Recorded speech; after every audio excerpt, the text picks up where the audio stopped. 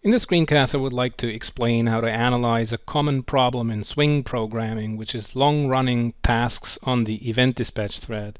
Something's running on the event dispatch thread that's taking too much time. It unfavorably impacts user experience. The user interface becomes unresponsive, and these things should rather be done on a background thread.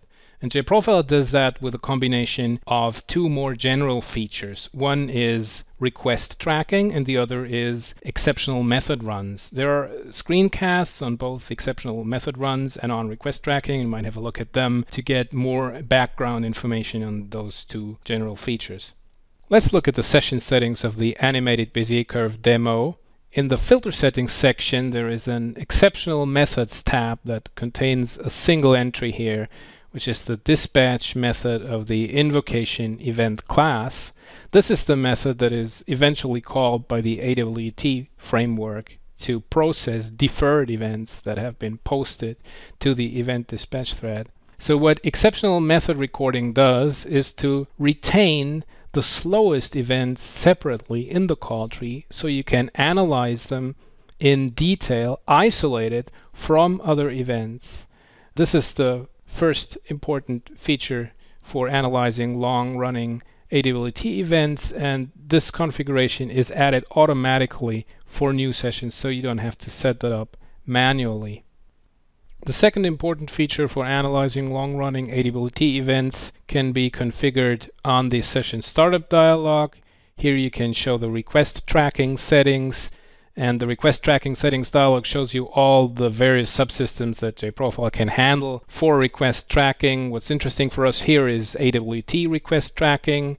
AWT request tracking adds execution sites to the call tree that allow you to jump to the thread and to the call stack where AWT events were posted. So you can find out who is actually responsible for long-running AWT events and I would rather not like to activate this right now because if we activate this from the very beginning we just see lots of events that are related to the initialization of the AWT framework so we'll activate this later on.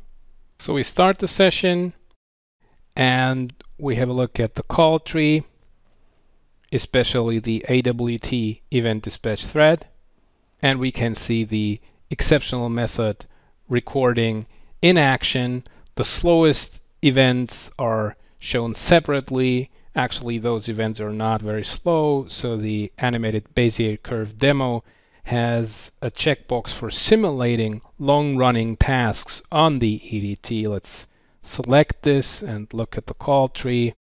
And we can now see the user interface is blocking periodically. It uh, unfavorably impacts the user experience. And indeed, here we can see 300 milliseconds events. Those are unacceptable and we can now analyze their actions in detail. Here we can see this on EDT method is apparently too slow. Let's look at it in the built-in source code viewer. We can see this is a method that performs some calculations and uh, this should be done on a background thread. Now we would like to know who posted these events and that's what request tracking is all about. So let's start request tracking for AWT we stop CPU recording and start it again just to get a clean call tree without any mixed settings in it for each of the long-running events we can now see there is an execution site node at the top that takes us right back to the call site where the event was posted. If I click on this hyperlink, I'll be taken to thread 3 and to this method, which is the culprit for these long-running AWT events. So let's look at the source code viewer, and here we see indeed that there is an invoke later method that calls the onEDT method on the event dispatch thread. So now we have completely localized and analyzed the problem. We can now fix it by pushing this method execution onto a background thread.